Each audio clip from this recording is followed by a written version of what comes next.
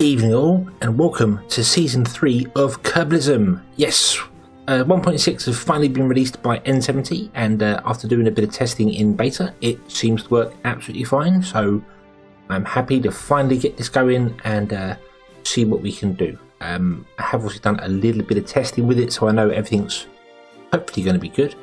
Um, so, right, let's get straight into it, shall we? Um, I'm going to play on moderate difficulty because that turns off the missing crews and uh, the bits and pieces here. And I'm also going to turn on require signals for control.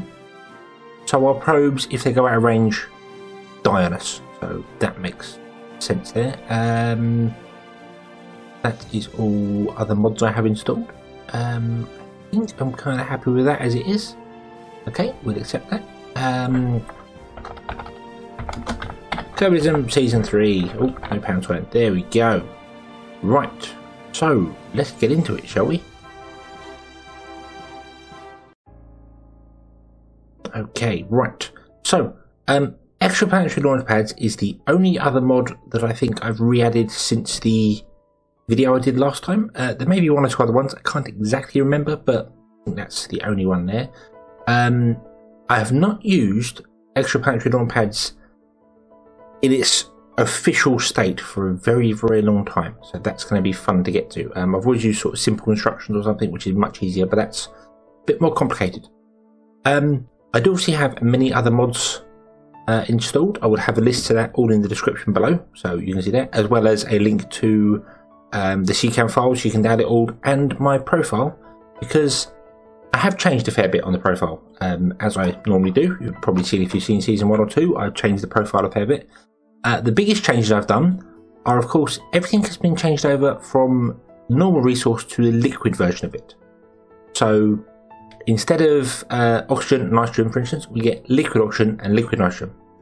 Uh, my reason for doing that is because Kerbalism now uses the community resource pack for its resources, which is a brilliant mod. But um, I think I've said before, it doesn't quite add up. When you take water, which is two hydrogen and one oxygen, and split them, the weight of the two hydrogen and the one oxygen together does not become the weight of water. Whereas if you take the liquid versions of them, it kind of does, so that works. Of course, everything's been rebalanced around that. By default, they have almost five days of food and water. Um, they have um, almost seven days of oxygen because they can last a lot longer without food and water than they can without oxygen.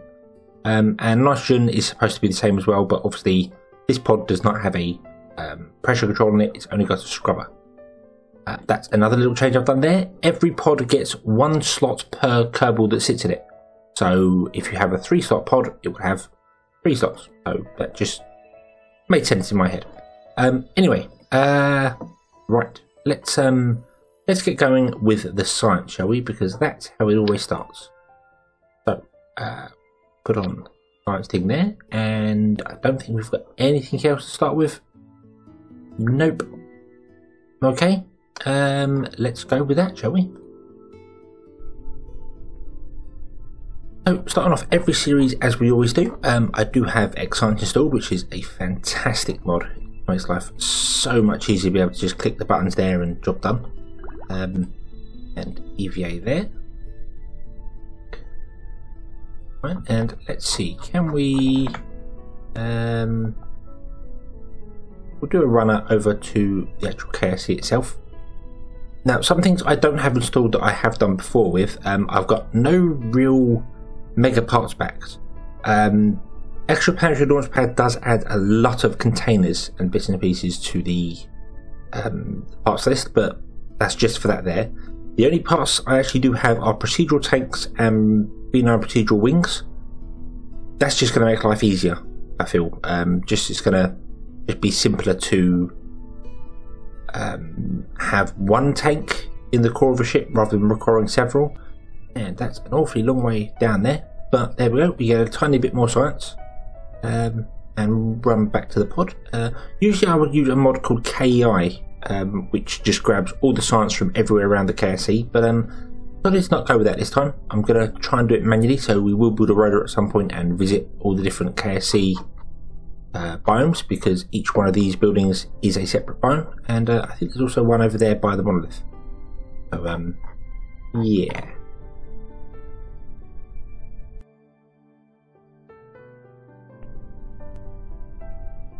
And back in the pod we go. Oh, apparently we are landed at Kerbin Shores now. That's interesting. Is that because I bashed the pod and it moved? Well, I won't say no to free science. Um, okay, so, and we cover that. And there we go. A grand total of seven science. Not really a great deal, but um, well, it's going to be slow going to start with because that's just the nature of Kerbal Space Program early on. And of course, we can do exactly the same, but over in the Hangar, there's a new switch editor button up here. I think that's 1.4 built in, um, and uh, we can just launch this craft uh, way up in the sky and uh, yeah, take it straight over to the runway, which makes life a lot easier. So, go and crew report. Um, EVA out. Landed at Kerbin Shores. Yep, we want that one. Um, let's drop that in there. And again, we'll run off the runway. Um, not that I think this one's going to actually count, because I think the external grass is all the same. Yes, yes it is. Okay, so Jeb, you can head back to the pod and uh, we shall recover you and then spend the glorious science you have just gained.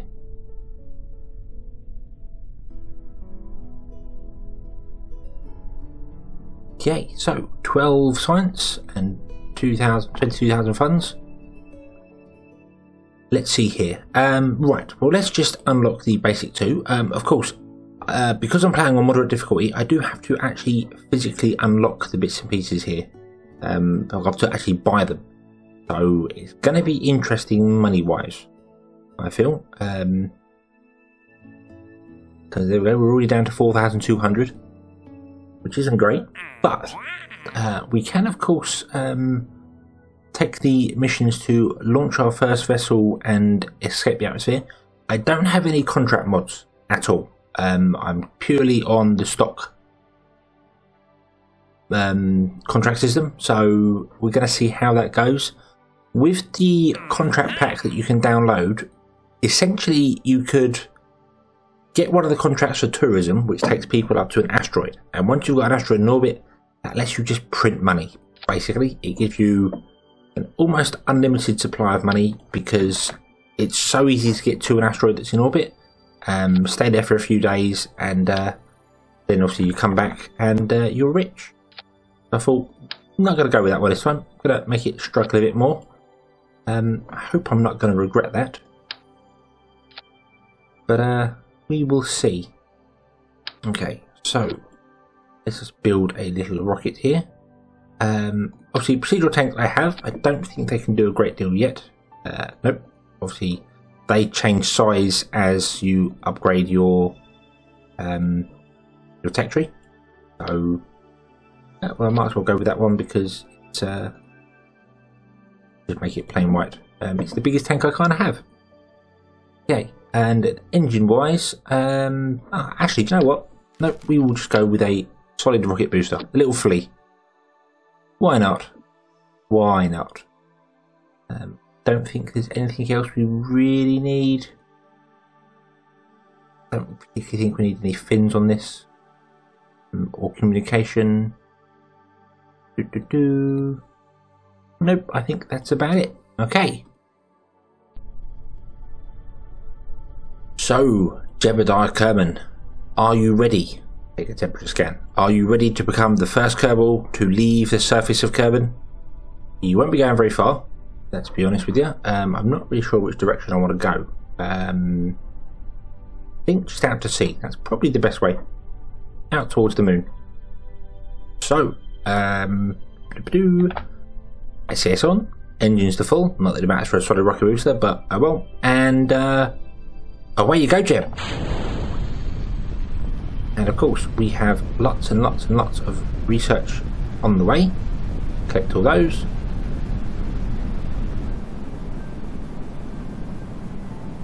and we're going to get to a moderate sort of 7,000, 6,000. Not too bad at all, really. Now we are flying over Kerbin's water. Let's get a crew report there. 6,000. Not bad at all. Not bad for our first flight. And uh, then it's just a case of uh, dumping that booster away. And falling down nice and gently into the water. And splash down. Loads more science to be had. Okie and uh, obviously an EVA report. Um, splash down at Kerbin's water. All that one, and then uh, nope, swimming is exactly the same. Okay, so oh, grab onto that and board, and uh, recover the vessel. And there we go. Uh, lovely 42 science gained. Um, isn't it annoying those messages are coming up in front of there? Did I say that? Maybe I'm just being a bit too quick for it. Uh, up to 87,000 funds. That's awesome. Um, right. So, uh, do go back into our research and development and see what else we can get. Obviously, it's slow going early on um, as it is with any Kerbal series, you know. Any time you restart the game, it does take a little while to, to get going. Um, right, let's research that. Um, I think we'll just we'll, we'll, we'll, start off evenly across the board. Um, oh, we don't have enough science for the big engines. That's a shame. I could probably do with. Though we've got the swivel, haven't we? Yeah. Yeah, that's okay. That's fine. Right. Um, we will purchase that one and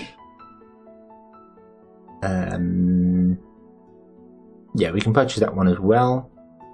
Yep, why not? Okay, so we do have some new wonderful angled science things. Um, let's go back to the runway.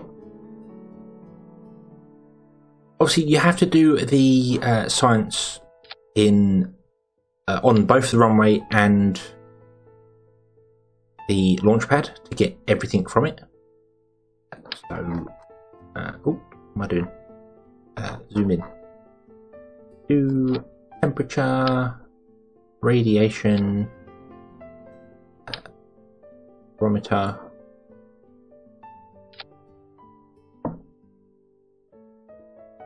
Uh, in fact, in fact, hold on a moment there. Um, don't save that. If I was to open that ship I just made, goes way up there.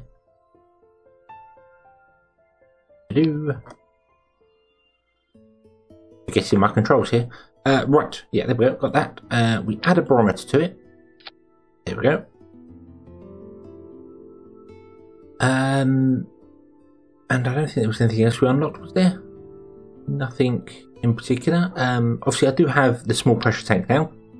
And uh, like I said, this allows for um, liquid oxygen, nitrogen, hydrogen, uh, carbon dioxide, ammonia, and water. Water is one thing I've added to the external tanks. They're all storing liquid versions of chemicals, so it just makes sense to add water, I thought. So I did. There we go. Um, and obviously, the supply containers are the old supply containers. They had food and water as well. Um, yeah. Okay. So Procedural liquid cone tank. Oh, awesome. Okay, um, we're going to go with that. Now, I will say, um, the procedural solid rocket boosters, um, I have found a bug with them, um, which I can show you. I can show you right now. In fact, let's let's do that. Um, I need to raise that up. Um, now, the issue I found is that when you just put them on there and uh, launch them, uh, as you can see, the engine bell ends up up here and turns red. And I don't know why. Um, and if you are to launch the rocket there, that's where the thrust would come from, so you would spin out of control. I don't know why it does that. It's confusing as hell to me. Um, but it does. So right now the solid rocket boosters are just um, bugged and you can't use them. So uh, yeah, avoid them. Just go with the stock ones. Um, and speaking of the stock ones, if I upgrade to the larger booster, I do believe that can actually allow me to escape the atmosphere. If I pretty much go straight up. So we're going to give that a go. Um, and Valentina is going to be our first pilot. We'll see if we can get to space. Um, did I get any? I do have some heat shields. Not sure if I need a heat shield, if I'm honest with you. Um, yeah, I'm not entirely sure. I'm going to put one on. I don't think I do. Not for re-entering just as is. Um, I'm going straight up and coming down again. I don't think I do, but we're going to go with that. Okay. Um, so, yeah, we will just point straight up in the air, I think. Um, may... I want to land over there somewhere, really. But I think we can do that by coming down using air, the aerodynamic. So, uh, Valentina, are you ready to set some new height records? Away you go. Probably in ever so slightly that way, just so I make sure we're heading that kind of direction. Now, pressure scan above KSC.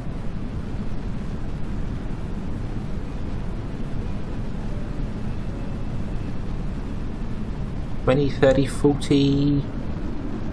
Um, no, it's not quite enough to leave the atmosphere. That's a shame. But we will get some lovely height records here. Now we are flying high, so we can get all the experimentations. Awesome source. Record all that data. That is fantastic.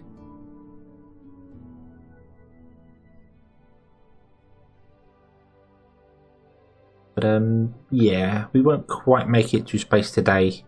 Um, and apparently we're going to come down over there, even though I'm saying to lean that way. I don't think that projection is correct. Um,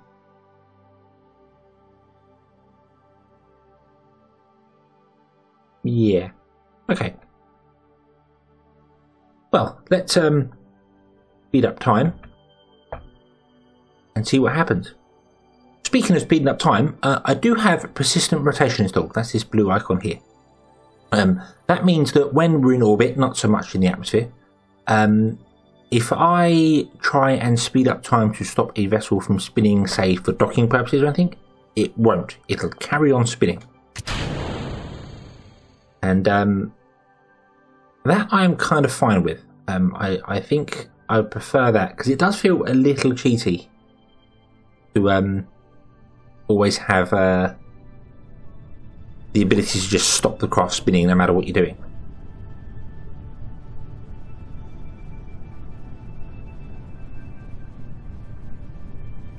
Because you run out of electric charge or RCS or something, and yeah, it's a bit a bit cheaty. But um, anyway, uh, we are coming down nice and. Didn't need the heat shield at all, but as I said, I'd rather be safe than sorry. Um, I think just basically putting two solid rocket boosters on there would be enough to uh, slow me down.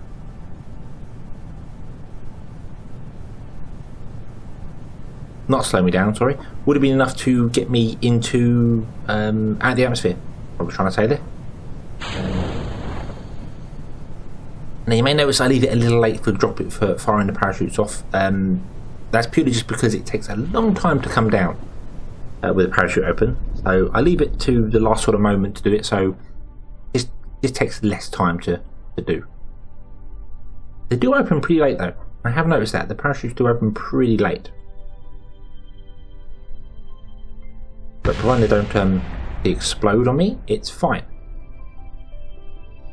And a touchdown, just like that. Loads more science. That's what we need. Um, yeah, there is a small bug in Kerbalism's naming system there. When you collect the mystery goo, it comes up with a, a broken name. Um, okay, so EVA. Um, do land at Kerbin's Grasslands. We can't take any uh, surface samples yet. We don't have the technology to pick up dirt. And um, yeah, recover that. And uh, we're happy. I'm very confused by that warning. Every time I seem to recover a vessel, it goes warning it can't talk to it, and then it can talk to it again. Sure, that doesn't matter because I'm recovering the vessel, but um, yeah. Right. Um, so we have money, we have bits and pieces. Valentina got some bits, of, um, some experience there. Um, one thing I do want to do that I think I forgot. Um, do names of mouse over there. That is turned on. Okay. Um, this is an object enhancement. It basically don't know if it actually works in this view here. Uh, can't see any, but when when you're playing, uh, as you've seen before in my previous series, you can mouse over objects in the sky, not necessarily the moon, but say Minmus or Duna was around, and it'll tell you what planets were where. And um, I just like that. I like being able to see them and being able to sort of just go, ah, who's joining us in the sky today? But I don't think it works in this view. So I'll be honest with you, I can't say I've ever seen the trees in this view before either. But um, happy addition. Uh, anyway, right. So we have wonderful new bits of science to unlock. Okay. Um, I'm going to start at the. Oh no, we'll do that one. Do that one first. Sorry, and then uh, we will purchase that. I'm going to start down here because I want the science. Um, I do obviously have community resource tree installed, as you can see, uh, with the hide the empty tech tree node, so we're not going to be getting nodes that are pointless. Um, that's why this tree looks slightly different to what you may be used to.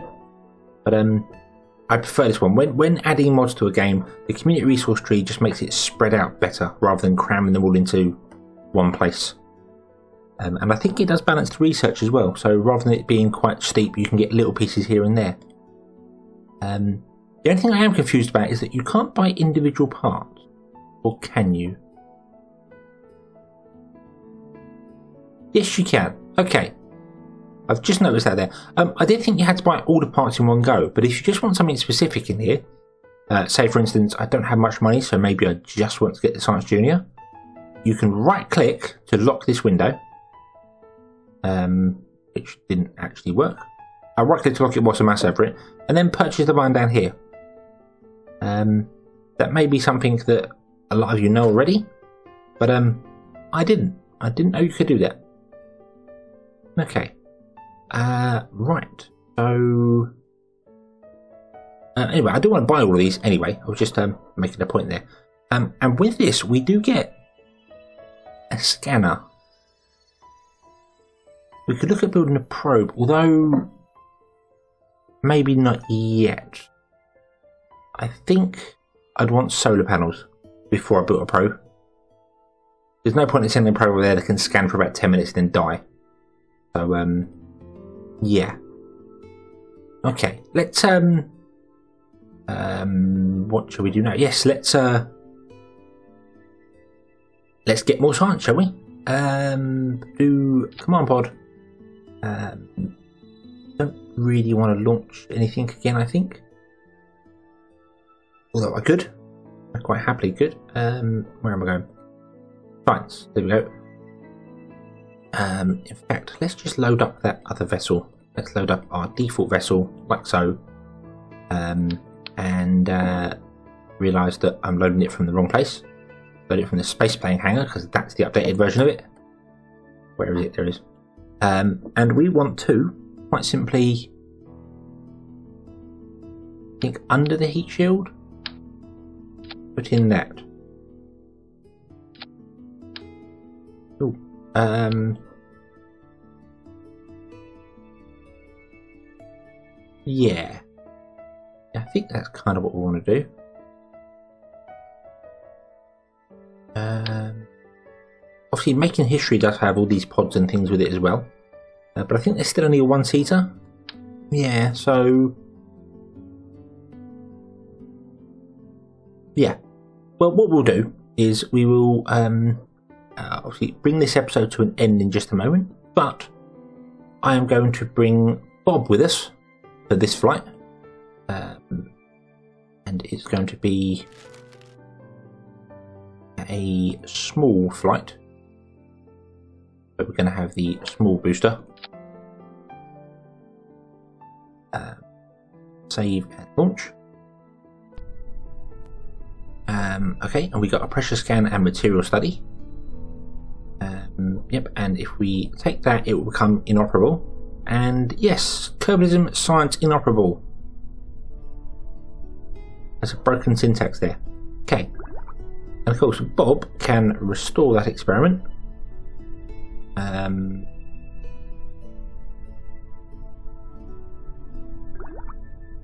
and somehow get an EVA report as well. Even though that covers us with no... Um, right, Bob doesn't have any SAS, so we'll have to fly this manually. I'm just going to go over and land in the water with him. I hope.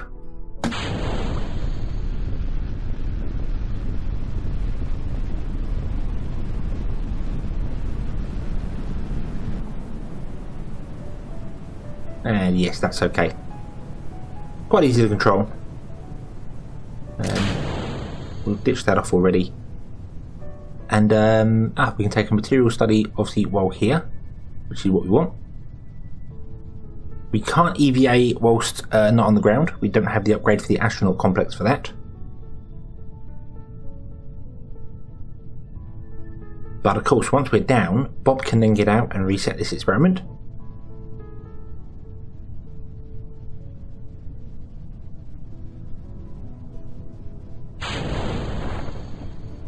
Launch that a little bit earlier because obviously this is quite heavy.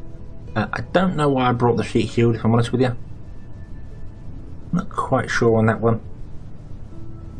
Probably just some extra weight I don't need. I can jettison it, I know that, but I'm kind of wanting to save a bit of money here.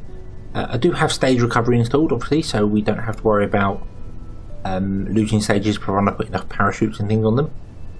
Um, although I do believe um, that slow me down enough or yeah under 10 meters a second that's fine. Um, I do believe with stage recovery as well if you leave enough fuel in a booster it will count that fuel as landing fuel and figure out whether you can hard land soft land whatever they call it um, a booster. So I might have to play with that. I might have to play with actually trying to do that um, I would love to be able to do it myself to try and do exactly what SpaceX does send boosters up and then bring them back and land them manually. But uh, Casp doesn't let you switch between the two as you're going. So um, I do think there is a mod that lets you do that, but I'm not entirely sure.